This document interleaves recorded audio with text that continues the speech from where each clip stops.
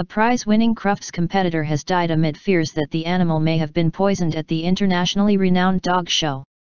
Owner D. Milligan Bott said her dog, known by its competing name Thendara Satisfaction, collapsed on Friday and she believes the three-year-old must have been poisoned at Crufts the day before.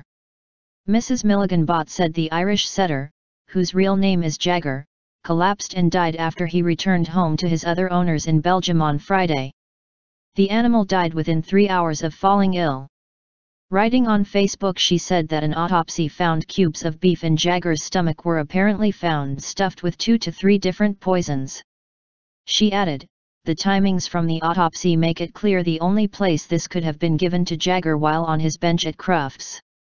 Jagger's owners have raised fears that the animal could have been targeted because he was doing well in competitions recently or because he was a dog from the continent.